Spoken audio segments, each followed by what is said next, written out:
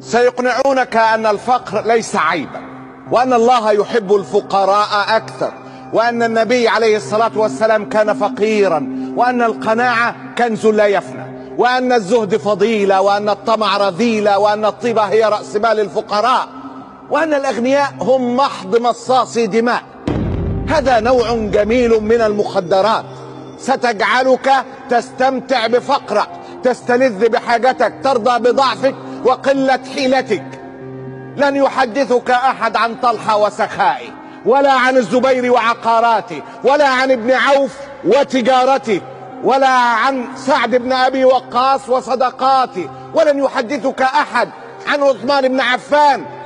لن يحدثك أحد عن عثمان بن عفان والذي جهز جيش العسرة وقال له خير من مشى على هذه الأرض. ما ضر عثمان ما عمل بعد اليوم. رضوان الله عليهم أجمعين.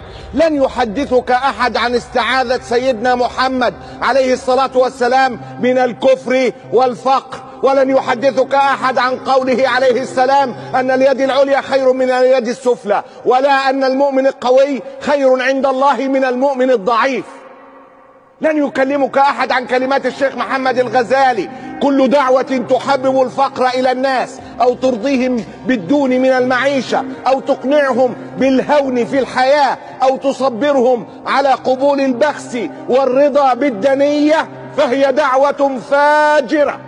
يراد بها التمكين للظلم الاجتماعي وإرهاق الجماهير الكادحة في خدمة فرد أو أفراد وهي قبل ذلك وهي قبل ذلك كله. كذب على الإسلام وافتراء على الله. بل بل سيقولون لك أنه لا بأس أن تكون فقيرا ضعيفا محتاجا فحينها لن تسأل. لن تنتقل لمرحلة تطالب فيها بأكثر من قوت يومك.